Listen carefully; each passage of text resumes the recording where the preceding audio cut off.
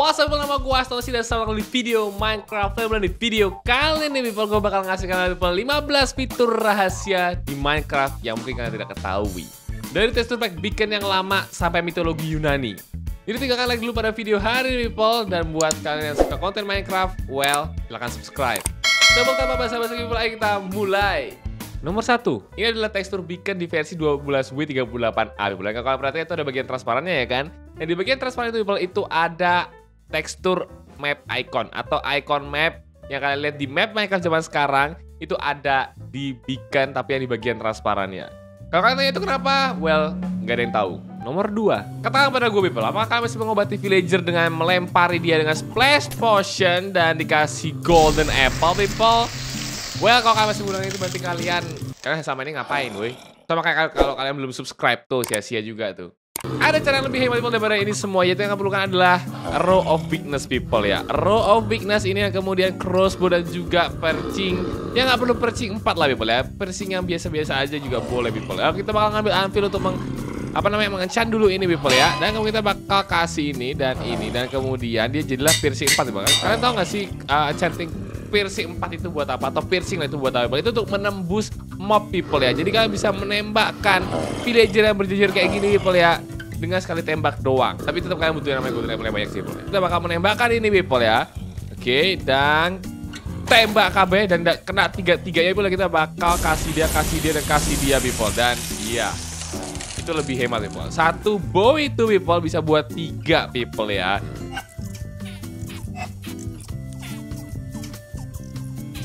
Jadi people gue hampir berpikir bahwa tadi hampir nggak bisa ya people ya Karena gue berpikir ini space of fashion itu 1 menit 30 detik oke. Sedangkan yang ini cuma 30 detik gitu kan. Ya Mungkin karena waktunya kurang lama gitu jadi nggak bisa-bisa gitu kan. Dan ternyata kira bisa.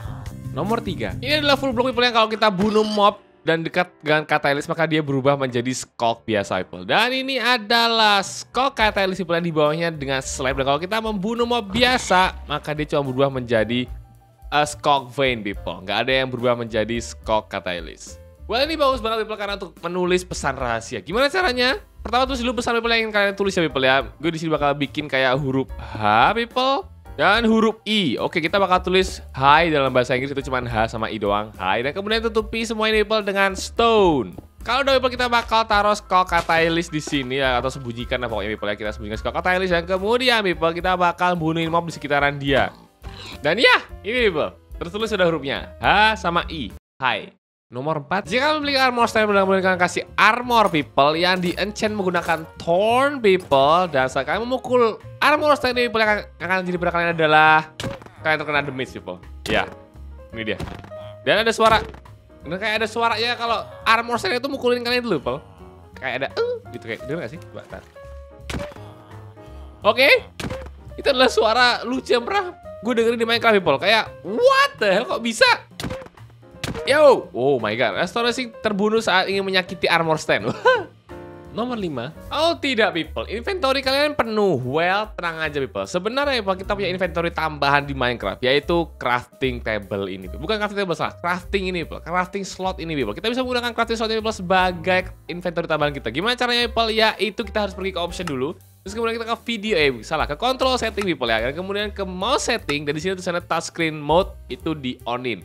Layar kan nggak perlu touchscreen untuk bisa menghidupkan touchscreen mode on ini people ya. Setelah itu people klik done aja, dan dan dan back to the game. Kalau kalian tahu kalau monitor gue ini nggak touchscreen tapi tetap bisa, oke? Okay?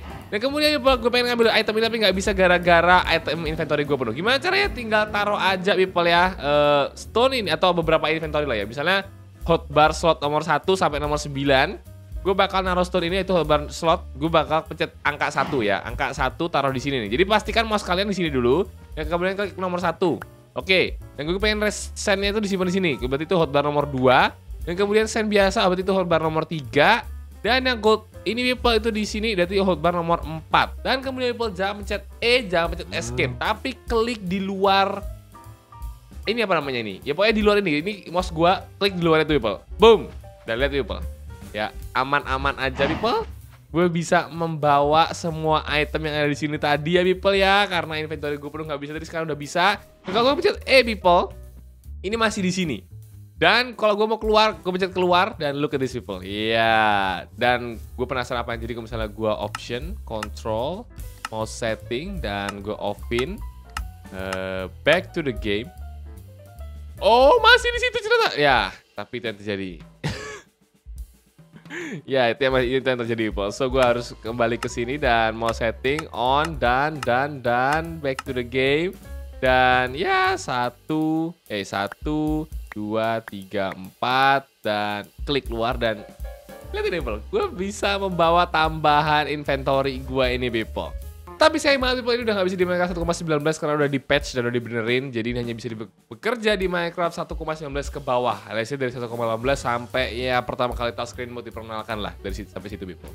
Nomor 6. Apakah ingin melihat orang People tapi orang gak ingin melihat kalian? Eh gimana sih? Maksud gue apakah kalian ingin melihat orang tapi orang tidak bisa melihat kalian People ya? Karena kalau kayak gini kan kalian bisa lihat orang, kalian bisa lihat kambing, tapi kami bisa lihat kalian dan orang-orang bisa lihat kalian people ya. Kalau kalian tuh lagi mengawasi. So people kita bakal membuat kaca ini Pak menjadi one way glass. Kalau kalian tahu yang kayak di apa ya ruangan-ruangan investigator gitu-gitu Pak atau ruang-ruang yang buat interogasi gitu kan itu kan one way glass tuh cuma bisa dilihat dari sisi, satu sisi doang ya kan. Orang yang ngeliat kan jadi kayak cerminan gitu kan people. Nah ini juga people kita bakal bikin kayak begitu tapi nggak cermin sih people. Yang pertama kalian harus memiliki yang namanya invisible item frame people ya. Seperti namanya invisible item frame jadi kalau kalian taruh ya invisible people nggak kelihatan. Nah, kalau sudah mendapatkan item frame kalian people, kalian tinggal perlu menuju inventory dan map dan kemudian kalian create dulu map kalian people. Nah, jadilah map kayak begini kan ya. Kemudian download salah satu texture pack Minecraft people. Seperti di sini gue menggunakan texture packnya stone. Kalian bisa menggunakan cobblestone, kalian bisa menggunakan dirt, kalian bisa menggunakan center slime people. Pokoknya sesuaikan dengan blok di sekitaran kalian. Nah, di sini gue bakal pakai stone. Kalau udah people kita bakal menuju MC map item tool dan kemudian choose file pilih file tadi people. Dan kemudian kita bakal uh, udah select number aja. Dan kemudian just color nggak udah udah just color gitu aja. Dan kemudian step 3 kita bakal create nama mapnya people ya. Di sini ada nol. Oke kalau kalian nggak paham ini apa nol. Maksudnya kalau kalian memiliki banyak map di dunia kan people ya. Itu nanti file itu namanya map 0, map 1, map 2, map 3, map 4, map 5 dan seterusnya kayak gitu people. Dan karena di dunia gue belum ada map sama sekali jadi gue bakal menggunakan map 0 aja. Dan kemudian create file people. Kalau udah tinggal download aja maka kakak mendapatkan file namanya map underscore 0.dat people. Pergilah ke persen up data persen, kemudian pergi ke .minecraft people dan kemudian menuju saves atau save-savean dunia kalian dan kemudian di sini gue menggunakan nama rahasia Minecraft dan kemudian menuju data people dan copy paste aja file tadi di data folder ini people. Maka dia akan berubah people menjadi batu kayak begini. Tinggal kita kasih aja semua ini people dengan invisible item frame. Yap, dan kemudian kita bakal kasih semuanya dengan map ini people. Dan ya jadilah people one way glass atau ya itu terlihat seperti batu, seperti batu. Ini people, kalian bisa lihat dari dalam sini people ya, kalian bisa melihat keluar, tapi yang di luar nggak bisa ngelihat kalian.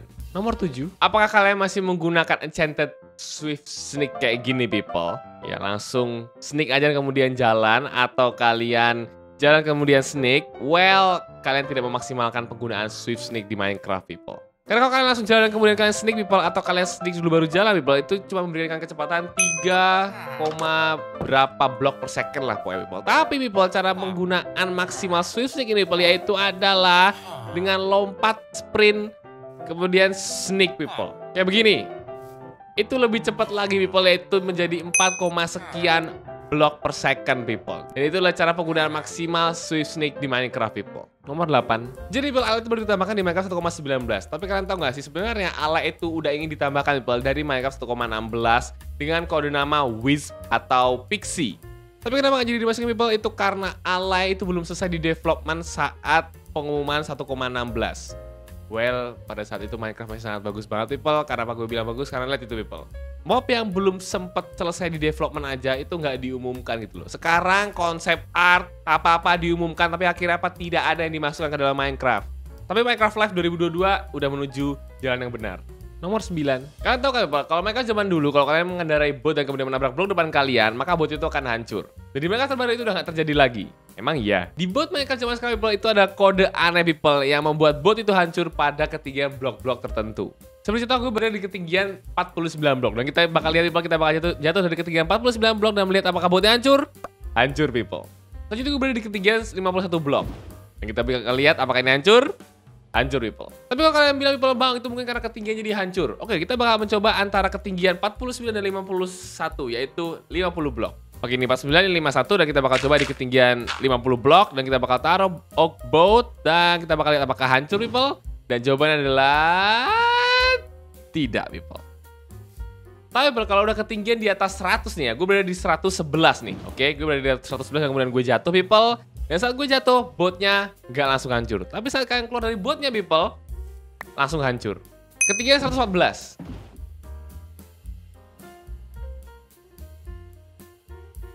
Ketinggian 198 blok.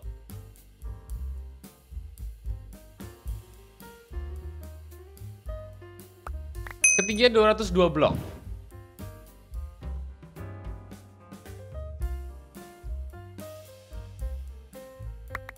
Ketinggian 310 blok.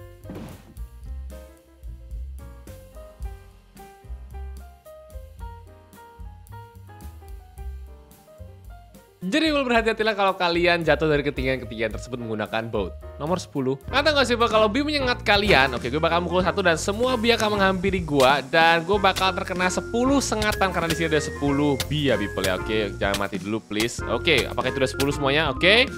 Alright, please gue jangan mati dulu. Oke people. So people, sengatan bi itu nempel di muka gue. Dan people lucunya nih ya, gue bakal mengambil namanya invisible potion people. Maka sengatan B itu nempel semua di badan gue dan ini terlihat sangat lucu people. Dan sengatan B ternyata tidak lanci people, melainkan cuman kayak kertas. ya nggak sih kalian perhatikan people teksturnya itu. Tekstur sengatan B.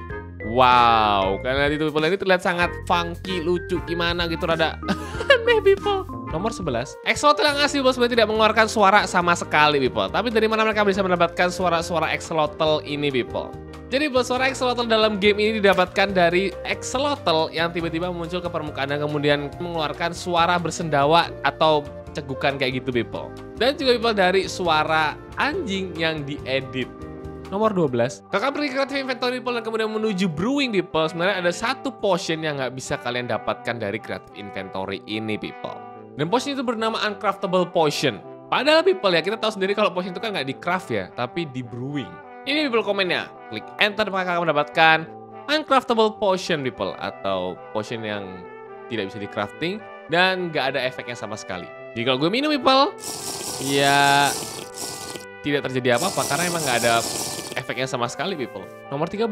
Kalian tahu people tiap blok-blok di Minecraft itu kekerasannya berbeda-beda. Seperti contohnya ini adalah dirt itu kekerasannya atau hardnessnya adalah 0,6 dan kemudian stone itu dia itu stone slab salah. Stone yang itu people itu kekerasannya adalah 1,5 dan grass kekerasannya adalah 0 people tingkat kekerasannya. Tapi apakah kalian tahu people berapa tingkat kekerasan dari bedrock ini? Kalian mesti menjawab jutaan kah atau malah tidak terbatas? Nah, gue sempat bingung nih people. Tingkat kekerasan dari bedrock ini sebenarnya aslinya berapa? Karena kalau kalian cari di Google people Minecraft Bedrock Hardness people ya. Hardness Maka itu akan muncul minus satu. Aneh gak sih? Yang artinya di bawah 0 Sedangkan kita tahu sendiri grass itu 0 Width itu 0 Dirt block itu di atasnya 0,6 Dan kemudian stone itu 1,5 Tapi hardness dari bedrock adalah minus 1 Nah yang gue kurang paham Atau gue gak pahami di sini adalah Dan gue bingungnya adalah di sini dikatakan kalau hardness-nya dari Bedrock minus 1, tapi kalau kalian menuju Wikipedia Breaking People, di sini tertulis kalau hardness-nya dari Bedrock People itu tidak terbatas. Atau minus 1 sebenarnya tidak terbatas. Well, yang paham matematika, tolong dipahamkan kami-kami ini. Nomor 14. Kamu pasti tahu people kalau kalian berjalan di atas air menggunakan Enchanted Frost Walker people. Maka itu akan mengeluarkan es kan ya. Akan mengubah semua air menjadi ice. Dan kita bakal ngambil ice di creative inventory kita people ya. Ini dia. Dan kalau kita lihat people teksturnya ya sama ya people ya 11 12 sama lah ya people ya tapi kalian tahu gak sih people ini bukan ice people dan ice yang kalian lihat ini people atau ice yang dikeluarkan oleh Frostwalker ini people itu tidak ada di creative inventory people ya. Jadi gue bakal nulis ice dan kalau kalian perhatikan people cuma ada tiga jenis itu blue ice, pack ice dan ice biasa. Dan kalau kalian tahu people ini tuh sebenarnya tidak ada di creative inventory. Nama ice yang dikeluarkan oleh Frostwalker itu people itu namanya adalah Frosted Ice. Di mana Java Edition people hanya bisa didapatkan dari slash set block Frosted Ice people. Dan ya kalau kalian berusaha menambang ini menggunakan silk touch kalian gak akan dapat apa-apa. Alexa ini nggak ngedrop apa pun people. Jadi kan nggak bisa mendapatkan ini people secara item kayak ice-ice yang lain people di Minecraft. Tapi di Minecraft Battle Edition kalian bisa menggunakan comment slash gift ya. Kalian bisa dapetin blok itu people secara item di Minecraft Battle Edition. Tapi di Java nggak bisa. Nomor 15. Kalian menemukan kuda impian kalian people dan saat kalian ingin mengetemnya itu membutuhkan waktu yang lama. Gimana cara mempercepatnya people? Well, ini agak mahal people yaitu menggunakan golden apple people. Iya, kalian beri makan dulu dia golden apple people yang banyak, maka kemudian kalian bisa mengetemnya dengan lebih mudah. Lihat itu. Mas Gue cuma dua kali naik loh. Yang naik pertama gagal, yang naik kedua langsung bisa people ya. Jadi memberikan golden apple kepada kuda itu adalah mitologi Yunani people. Dan Minecraft mengetahui detail itu. Keren banget. Jadi itu dia 15 fitur rahasia Minecraft yang tidak kalian ketahui people. Terima kasih banyak udah nonton people. Silahkan tinggalkan like buat jika kalian menikmatinya. Dan jika kalian ingin tolong subscribe. Nama gue Aston dan sampai jumpa lagi di video Minecraft lainnya. Bye!